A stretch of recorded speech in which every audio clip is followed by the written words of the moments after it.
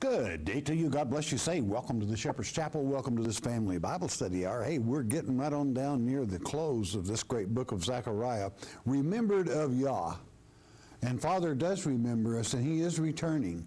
Have you noticed in the last few lectures how many times in that day, meaning in the Lord's day, that this has reference to? Friend, it's, it's talking about right now, what goes on now and how it is just before that day and even in uh, oftentimes during that day. We come to chapter 13 and verse 1 and we ask a word of wisdom from our Father and we kind of start a new thought here and it'll be kind of self-explanatory. Verse 1 of chapter 13, Zechariah, and it reads, uh, In that day there shall be a fountain opened to the house of David and to the inhabitants of Jerusalem for sin and for uncleanliness. In other words, it's going to correct everything. Now, this isn't in the sense of baptism. You, you will read of this fountain in Ezekiel chapter 47 in the Millennium Temple, where from the throne of God runs a stream of water. And the further it goes, the deeper and the more, the stronger it gets. Until Ezekiel would say, I can't even cross this stream. And, and that's what it's for, is God's way of division, God's way of happening things. Now, this, this goes all the way back to the rock that brought forth, the fountain that brought forth water in the wilderness our Father takes care of His own. This, this is a water that is the living water. As a matter of fact, it's Christ, to be quite frank about it. This is not just simple future tense, but the verb heya, as it is utilized here, shall be heya, uh, with the particle meaning that the fountain shall be permanently opened, not just partly open, not intermittent but permanently. Meaning, what, what does that say to you? We're, we're in the eternity. We would even be in spiritual bodies at the time, of, like I said, it's the future tense, all right, meaning yet to happen. But it, it will take care of all unhappiness, all uncleanliness, all sin. There just won't be place for it, and, and, and nor would anyone even wish to with that living water flowing from the very throne of God, saturating the, the minds of the children. Um, what, a, what an interesting thing. All things evil cut off, done away with, destroyed. That's what we all work forward to. He kind of expects us to cut our own swath while we're on this earth. You know, we have to take care of business. He left us, he went to a far country and kind of left some of his servants in charge to kind of see to the vineyard. We haven't done real well. We've allowed a bunch of crooks to move in and become judges and a few other things. Not to say there's not some good. And uh, we just have to be real careful. We've got to take care of that vineyard. But this is going to be a time that there won't be room for any of that. It won't happen. That's why it's future tense, and that's why it's permanent. It's forever. Verse 2 And it shall, not maybe, it shall come to pass in that day. What day? The Lord's day. Saith the Lord of hosts, that I will cut off the names of the idols out of the land, and they shall no more be remembered. And also I will cause the prophets in the unclean spirit to pass out of the land. Oh, my word, I wouldn't have thought he would have done that to the prophets, the fakes, the false prophets. Those that say to you, Well, God talked to me. We had a little talk today. You, you better mark that man. And I'm going to guarantee you something. If a man had a talk with God, he would not be revealing it. It would be orders to do something to take care of something. And he wouldn't be lightly, that's my point, he wouldn't lightly be discussing it. Why, it's a jarring time. And our Father does speak to certain people to make certain that the ends meets the, the needs of his prophecy that his children uh, accomplish what it is that they are to accomplish to bring this word to its fullness. Our, our Father's in charge, and he's tired, very tired, of, of Satan working his little fake preachers into places, misguiding, misleading, making uh, our children a bunch of wet noodles. Yes, Christians just have to lay down and let everybody run over them. Yes, you just always turn the other cheek and let them slap you if they want to. You pop them in the face. Why? If you are teaching and you get a little carried away and you lay more on some preacher than his donkey can handle, and he reach out and slap you, then turn the other cheek. But if some bully comes up to you on the street and pops you, pop him back. All right? There, that's very Christian to do this. Christians are not, I repeat, not second class citizens. No one is going to respect you if you are not due respect. And respect comes by settling for what's fair. Now, what would be fair? I'll, keep, I'll hang on to this analogy for a moment. What would be fair about you walking down the street and somebody coming up and popping you? It wouldn't be fair at all. So, as a fair Christian, you got to do something about it. Point made, and that's the way it goes. God says, I'm finally going to take all that stuff away. But we do have that charge, my friend, and we are held accountable. Judgment begins at the pulpit. Judgment begins with preachers. That's why you had better, when you do research, you better research it in one or two languages. You had better research it and document it in the Masorah, uh, the uh, heavier points, more specific points. You better know what you're doing because God corrects severely those at the pulpit that mislead. That's the first thing he warned about in Mark 13. He said, you know, don't don't let people deceive you because there's many going to come saying, I, will be a Christian preacher. I'll be from Christ. Yeah. Yep, yep, yep. He said, don't, don't believe them if they don't align with what Mark 13 has to say. And you know something? What you really need to do, if you want to check out your own preacher, not, i never mention churches or anything else, but you need to read Mark 13 where it says, There'll be many coming in my name. He says, The ones that come in my name will be teaching you this, that there will be wars and rumors of wars. But don't worry, not yet. When you hear of peace, peace, peace, that's when you want to start being concerned that they will deliver you up before these fake preachers will ultimately cause you to be delivered up before the spurious Messiah, the synagogue of Satan. And you're not to premeditate what you say beforehand. Now, that's the way you check your preacher out. If he's not teaching that, you got trouble, friend. I hate to tell you that, and it might embarrass your preacher, but that's the teachings of Christ in Mark 13. He said, Beware of those preachers that say they come in my name and don't teach you this. That, the Sermon on the Mount, it's all right there. It all leans toward and even is declared in Mark 13 that it has to do with the parable of the fig tree and the generation that's living in that time, and that's you. So you need to be very careful at this time.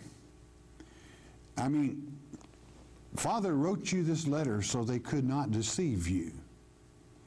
He said, I'm getting rid of those fakes, the false preachers, prophets, and the unclean spirits, those that say, well, the Holy Spirit spoke to me. You better be real careful what spirit spoke to you. They're going to be removed. Revelation 19, ultimately, they're going to be thrown in the fire, period.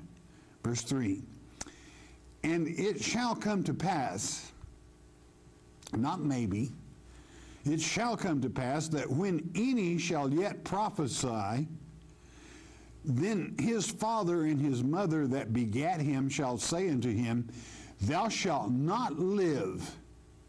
You're not fit to live. For thou speakest lies in the name of the Lord. And his father and his mother that begat him shall thrust him through when he prophesieth, fulfilling Deuteronomy chapter 13, verses 6 through 11. That's what's supposed to happen to a false, a false prophet. Well, how can they be so sure that he's a fake? Well, if it doesn't align with God's word, he's a fake. Let, let, me, let me give you documented proof of why you can trust God's word to that point. In the great, uh, we were mentioning Mark chapter 13. I'm going to use it again. It states there, uh, along in the about the 20th, 23rd verse. Behold, I have foretold you all things. Through what?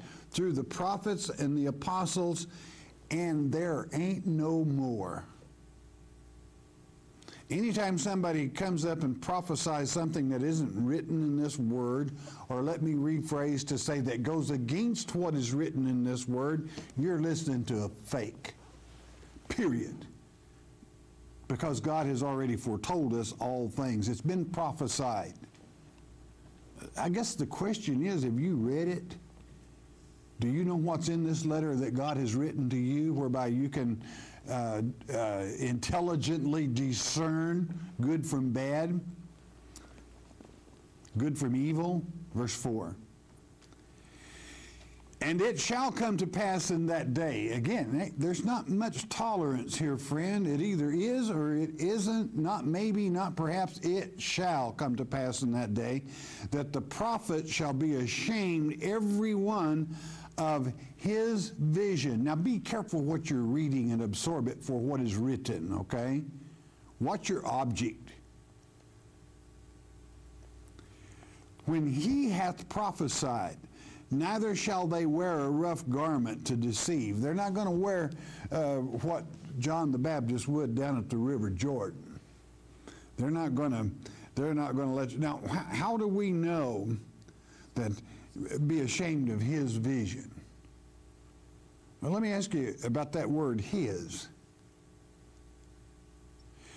If, if a prophet gives a vision, it had better be a vision from God, a divine oracle, as you have read over and over in this great book of Zechariah. Not his, not the prophet's vision. Who cares about his dreams and visions? It's all right for him, but we don't care about them. If it's not from God, it's not fit to even talk about. Probably all he had was a sour pickle. It kind of bothered him, and he had a vision. All right? Probably um, a, a vision that there was a terrible buildup. Who knows what he visioned? But it's his vision, not God's. That's the point. And God wants you to know that. He said, I'm not going to put up with it. There, and he said, I'm, I'm, not telling you it will come to pass that they will, the prophets will be ashamed of his vision. In other words, I'm going to make it come to pass. But that lets you know they're still out there spewing, spewing their garbage. Yes, I had a little talk with Jesus today. Oh, you did? Well, what did he have to say to you? It's his vision, not God's.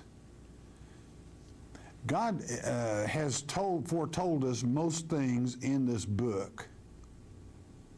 If he has, if he ever, if you get off of a page and he's counting on you, don't worry. He'll speak to you then and, and at least put you back on the right page, but it will still be what's written in this book, this holy word. God's vision, not ours. Not mine and not yours but a divine oracle from Almighty God. He expects us to rather teach what his prophets prophesied rather than some fruitcake out saying he's a prophet. Liars run to and fro, but God is going to cleanse the earth. Praise God. Verse 5. But he shall say, I am no prophet. I am a husbandman. I'm, a, I'm just a farm boy. For man taught me to keep cattle from my youth. All I was ever taught, I'm no prophet, was how to be a good farm boy and take care of, uh, be a good cowboy out here taking care of cattle. That's it. Not me, boy. You know, after they're caught in their stuff uh, by a true scholar of God's Word, they sure like to backpedal like an old Oklahoma crawdad. They can sure move backwards. It's already too late. God's got their number. Verse 6 And one shall say unto him, What are these wounds in thine hands? Now listen carefully. Then he shall answer, Those with which I was wounded in the house of my friends. It was in the house of my friends that this happened. Do you know where those wounds are in his hands? Where he was nailed to the cross. Remember, I told you only a lecture or so back that you find uh, those wounds that there will still be very obvious when he returns, and you'll read of it in Revelation chapter 1, verse 7. His friends didn't treat him real well, but even within that, there is a purpose and a reason. And, and Jesus himself would, um, Jesus himself would say this, he would. And um, I think it, it uh, bears repeating. If I can get my memory to get going for me here. And um,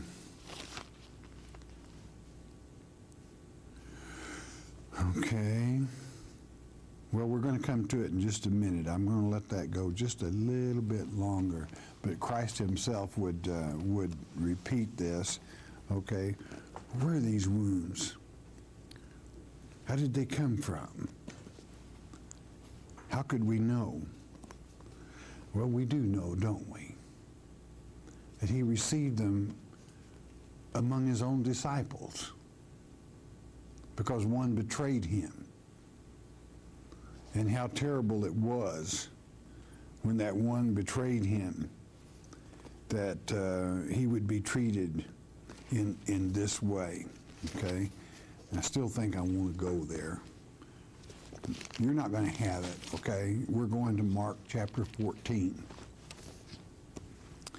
And I'm going to pick it up with verse 27. And Jesus said unto them, All ye shall be offended because of me this night, for, for it is written, I will smite the shepherd, and the sheep shall be scattered, and after that I am after that I am risen, I will go before you into Galilee. And this is that time. It's written in this seventh verse here that we're about to come to in this great book. But I wanted you to know that Jesus spoke the words long before that uh, they'll smite the shepherd and the sheep shall scatter. But did you notice what he told them in verse 28 of Mark 14? But after that, I am risen. After I come out of that tomb, I will go before you into Galilee. You don't look for me here. I'm going to meet you back in Galilee. And they were real surprised when he turned up there. Really surprised. They wouldn't even go to the door. Now, returning to where it is written that that very thing would happen, back to Zechariah chapter 13, verse 7. Listen carefully.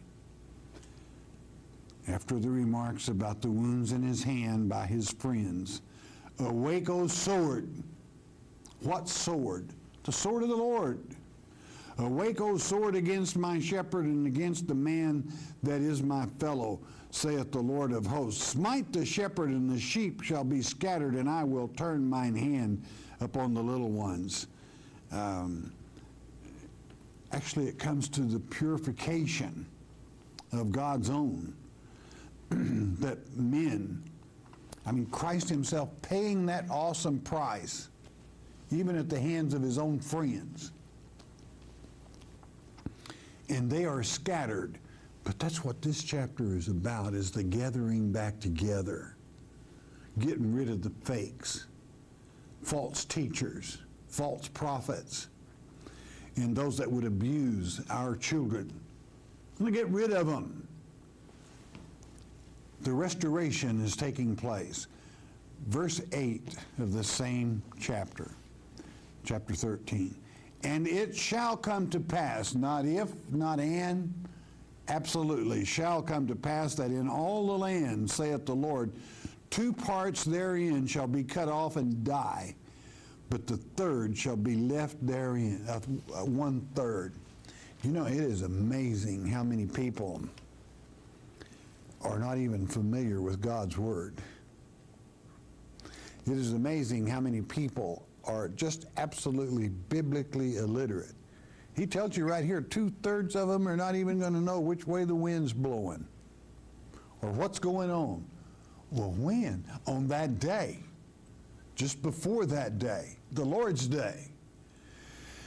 Well, it's hard for me to understand that. Well, it shouldn't be. Listen to their conversations. Listen to them in the terminals. Listen to them in this place or that place. Even listen to some of their preachers. It's obvious they have not, no idea, not the least little thought of what's actually transpiring. Even at this time, as we have our men, our troops, our frontline troops, both men and women, that are walking the streets of old Babylon, that actually had a ceremony there four or five days ago in this time whereby we turned the authority of that old city, Babylon, and the surrounding area over to a Polish general and a group of international troops. Interesting, what? Why would the, the um, change of command and the celebration thereof took place in the old city of Babylon that the type of Satan himself, the type of king of Babylon himself, uh, Saddam Hussein, spent millions replacing the brick in that city until it would make quite a tourist attraction to this day. The Iraqi people ever get it situated. But don't you understand? What's happening here today. Same country, you have Ur, the place of Abraham's beginnings. Our troops are there. There are many things transpiring that should catch our attention that our Father is in control. You know, within the sight of many of these places, at the birth of our beliefs, beginning with Abraham's what I'm talking about. That as of uh, recent years, with the so called dictator, king of Babylon, so to speak, Saddam Hussein, that buses and trucks would pull up in the desert and trenches would be dug and innocent people run out of the buses and gunned down like animals and buried, and then closing off and driving away within the sight of these things.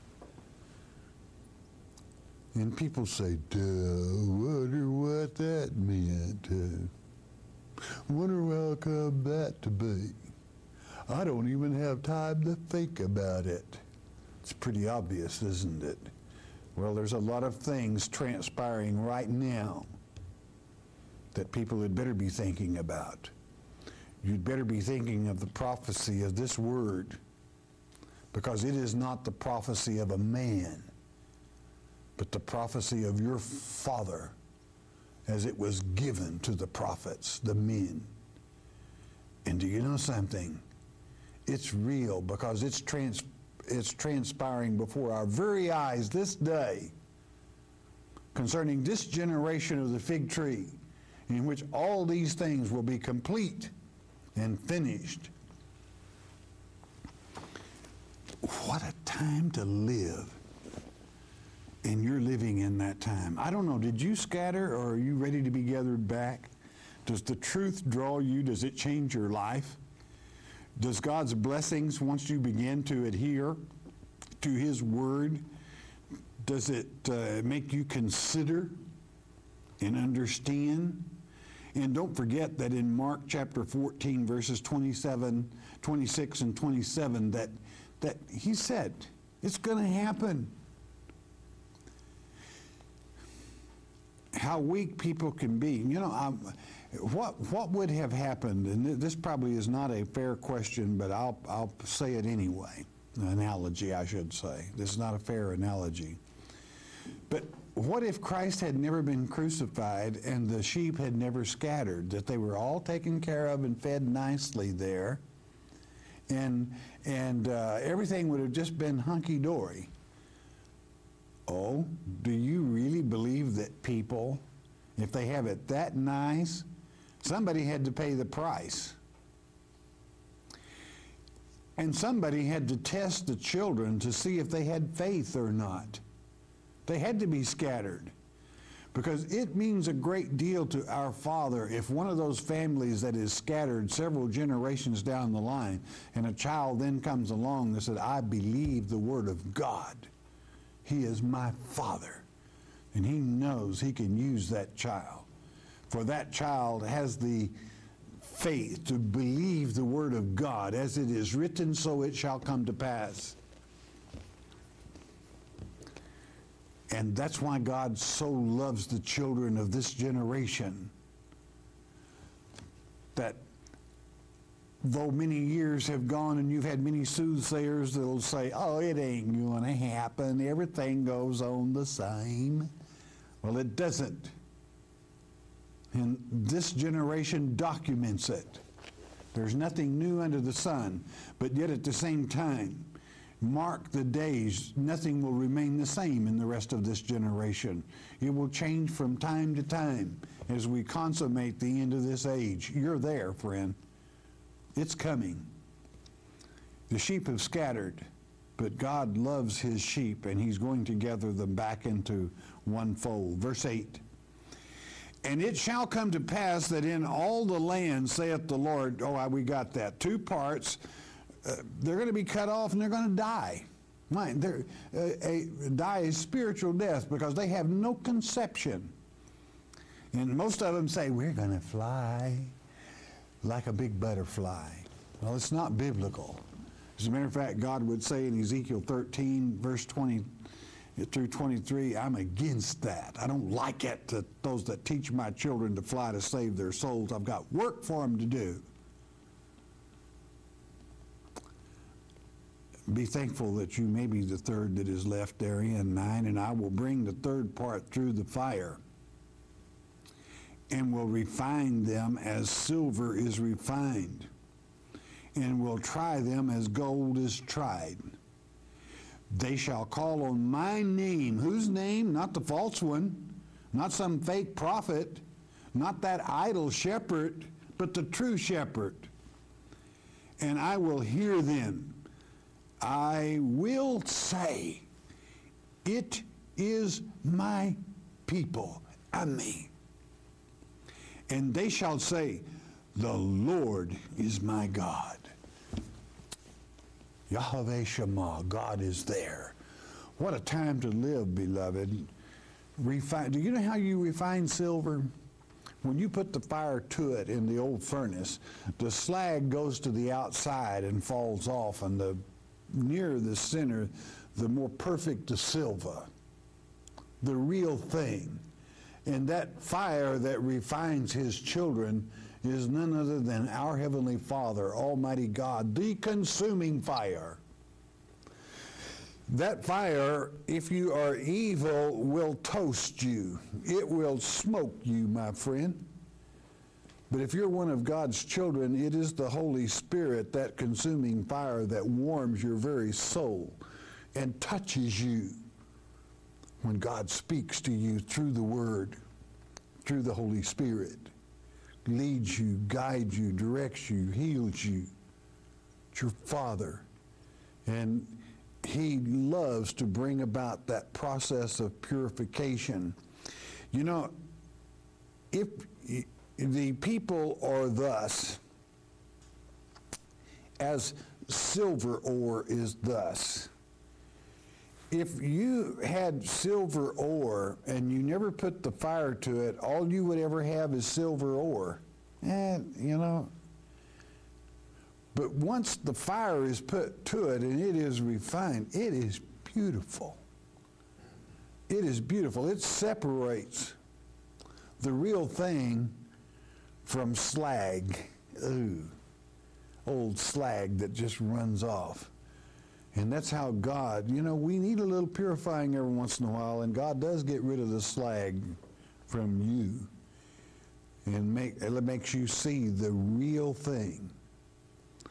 Yes, my friend, we started this chapter by saying a fountain would be opened in that house forever, never to be shut or closed again and it would cleanse everything that came near it because it is the living water for which Christ is the Savior. You can read of that stream again, as I stated in Ezekiel chapter 47. It's a beautiful thing. And you're there. You're in that time that God intends to pull together the chief shepherd did he not promise? Did he not promise? If I have a hundred sheep, a hundred means election or God's elect. If even just one of them, one of them goes astray, I'm going to leave the 99 and go after that one because I care. They are my sheep and no man can take them from my hand. It's time for that gathering of the lambs, of the sheep. God's word is complete within itself. His love abounds as He purifies, as He matures, as He brings you into shape that He can use you in these end times. You know, He described us as a weapon not too many lectures ago. He said, Judah, the house of Judah is my bow and the house of Israel are my arrows. He's going to use you if you're if if you're fit. And that's why he puts the final touches to the beautiful real thing whereby you're able to serve him and he can say, "Yes, that is my child. I'm so very happy with them. I can use them. I can depend on them." I can count on them. They won't be deceived. So it's up to you. God sent you this letter to, prevent, to prevent you from being deceived. Have you read it? It's fantastic. Don't miss the next lecture, the conclusion. I could teach the whole Bible from Zechariah, but I could teach all of Revelation and much of the Bible in the final 14th chapter. We'll complete it in the next lecture. Don't miss it. All right. Bless your heart. You listen a moment, won't you please?